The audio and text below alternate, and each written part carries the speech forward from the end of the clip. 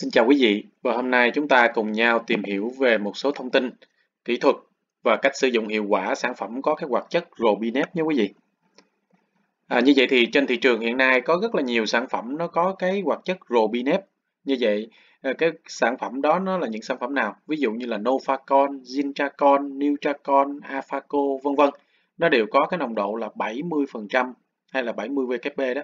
70% đây là cái Robinet à, trên 1 kg 700g trên 1 kg. Thì à, như vậy thì Gobinep nó là cái gì? Và cái công dụng của nó như thế nào? Đối với cây trồng, chúng ta sẽ cùng nhau tìm hiểu nhé. À, Robinep là gì? Thì à, Robinep nó là một cái à, chất hóa học đồng phân của cái sản phẩm Zinep và nó là dùng để phòng trị các cái nấm bệnh đối với cây trồng trong nông nghiệp là chủ yếu và nó có tác dụng à, tác động tiếp xúc đối với cây trồng không có lưu dẫn trong cây và nó thuộc cái nhóm hóa học là dithiocarbamat à, tính chất của nó là nó thuộc cái dạng bột trắng ngà ít tan trong nước và nó có nó tan trong cái dung môi hữu cơ phân giải trong cái môi trường ẩm chua và kềm mạnh không ăn mòn kim loại trong cái môi trường khô. Đặc biệt là cái nhóm độ độc LD50 qua miệng của nó là lớn hơn 5.000 mg trên 1 kg và qua da thì lớn hơn 5.000 mg trên 1 kg độc đối với cá cũng như là không độc đối với ong và thời gian cách ly của nó là khoảng 7 ngày.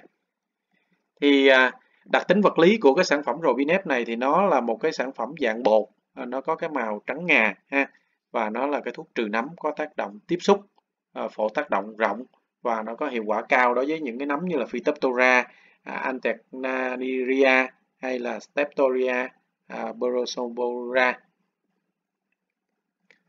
Và cái cơ chế phòng trị bệnh và phòng bệnh và trị bệnh của cái à, Robinep là như thế nào? Thứ nhất là nó gây ra cái sự phá hủy cái tế bào chất cũng như là cái ti thể và nó ức chế ngăn chặn sự nảy mầm của bào tử nấm bệnh. Những cái bào tử nấm bệnh từ bên ngoài nó tấn công vào bên trong cây trồng thì à, khi nó gặp cái sản phẩm uh, Robinep nó nằm ở bên ngoài thì nó sẽ không có cơ hội để mập cái mầm ra và tấn công vào bên trong cây. Chính vì vậy mà khi chúng ta phun cái sản phẩm Robinep lên cây trồng thì nó sẽ bảo vệ bên ngoài đối với cây trồng rất là tốt. Ưu điểm của sản phẩm Robinep là gì? Thứ nhất, đó là nó phòng trừ cái nấm bệnh phổ rộng trên cây lúa, cây rau, cây ăn trái và cây công nghiệp. Cái thứ hai là hiệu lực cao, giúp dày lá, xanh lá, khỏe cây. Cái thứ ba là bám dính tốt trên bề mặt cây trồng và thời gian nó kéo dài và nó rất an toàn đối với cây trồng. À, có thể phối hợp chung với hầu hết các loại thuốc trừ sâu bệnh khác và nó cung cấp thêm cái nguyên tố kẽm cho cây trồng.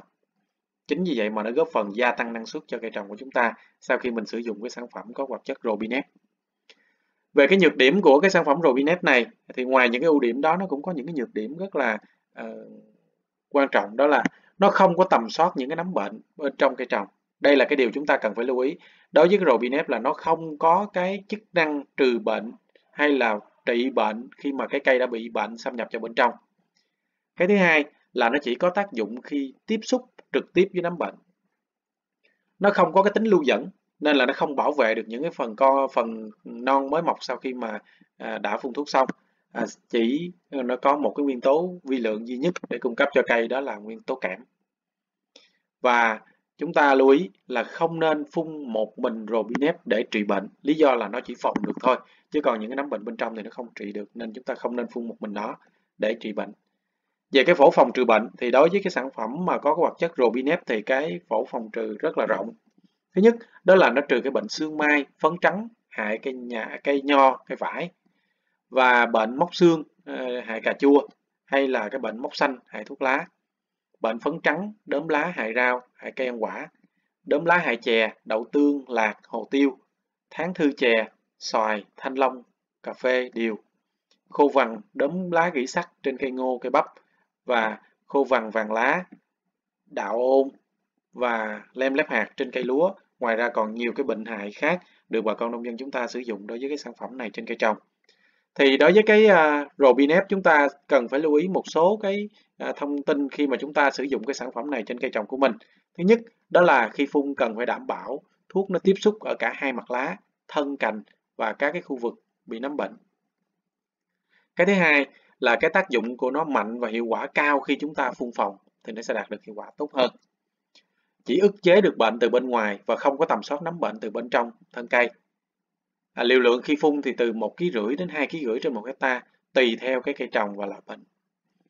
Có thể phun để bổ sung cái lượng kẽm giúp cho cây trồng có sức đề kháng tốt hơn đối với cây trồng.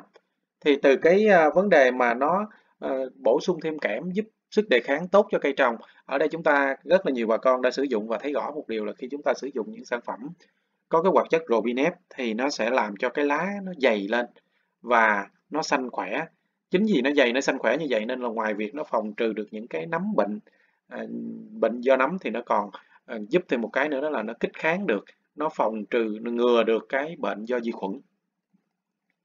À, chúng ta nên phối hợp với các cái hoạt chất có tính lưu dẫn để tăng cái hiệu quả phòng và trị bệnh. Tức là chúng ta cần phải lưu ý Robinep là một sản phẩm phòng bệnh thôi. Nên là khi mà trị bệnh thì chúng ta sẽ cộng thêm một cái hoạt chất khác. Ví dụ như là chúng ta cộng thêm tim super. Lưu ý là không hòa chung các cái loại thuốc trừ sâu bệnh có cái chứa cái gốc lưu huỳnh và vôi đối với cái sản phẩm có hoạt chất robinep. Và tuân thủ các nguyên tắc an toàn phòng hộ lao động khi chúng ta sử dụng. Nên phun phòng bệnh khi thấy có những cái điều kiện phù hợp cho nấm phát triển ví dụ như là sau khi mưa kéo dài ẩm độ không khí cao hoặc là khi những cái ruộng bên cạnh đã nhiễm bệnh thì chúng ta có thể tiến hành phun. Đó là một số thông tin chúng tôi muốn chia sẻ thêm với quý vị về cái sản phẩm ờ, có các hoạt chất Robinep.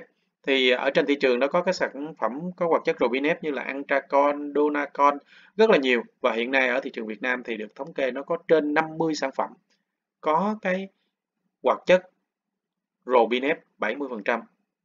Đó là một số thông tin chúng tôi muốn chia sẻ với quý vị. Rất mong nhận được những sự quan tâm, theo dõi và đóng góp ý kiến của quý vị. Hãy nhấn đăng ký và chia sẻ để cập nhật nhiều thông tin mới nhất từ kênh nhé. Xin chân thành cảm ơn và hẹn gặp lại.